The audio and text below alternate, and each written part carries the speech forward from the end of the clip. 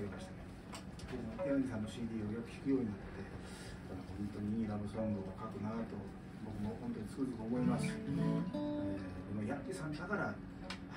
あの成立するっていうのかなという曲もあるなと思うんですね。僕なんかがですねキャサリンなんて歌ってますけどちょっとややばいかなまずいかなっていう感じがするんですけど柳さんなんか歌うと本当にああで僕はよく五十嵐君はあの家族の歌とかねあるけども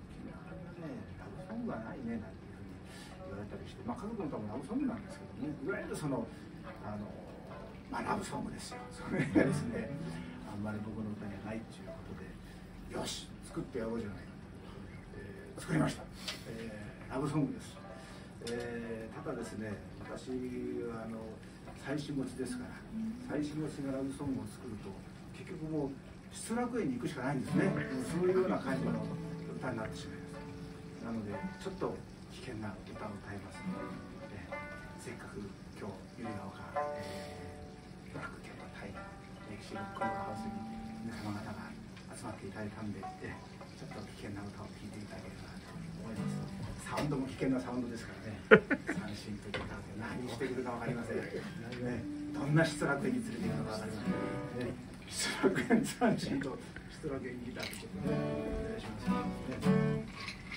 おかげさまの夜という結構こう見えてこれっぽいんです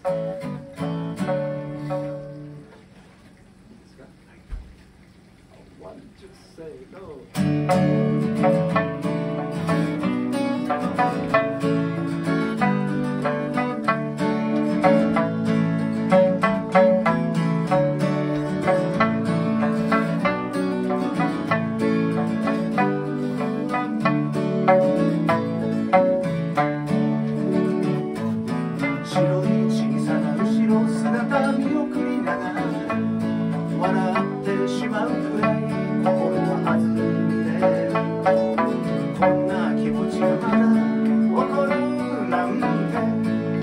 街をもう少し歩いてみたく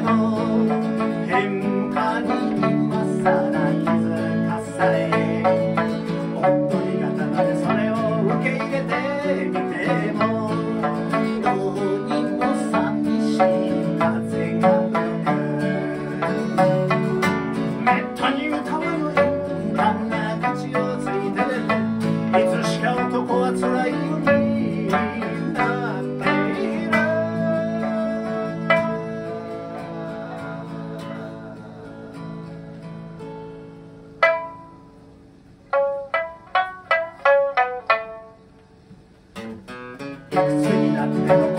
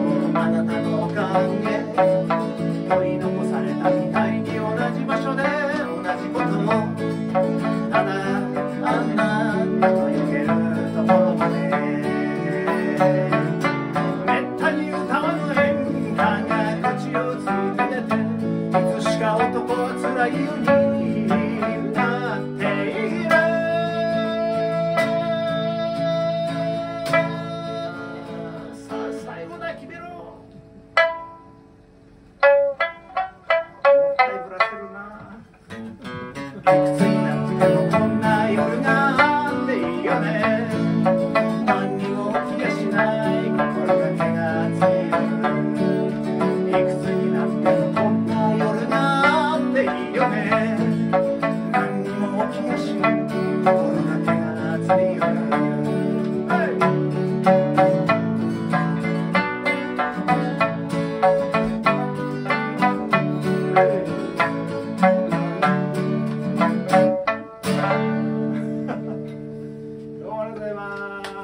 え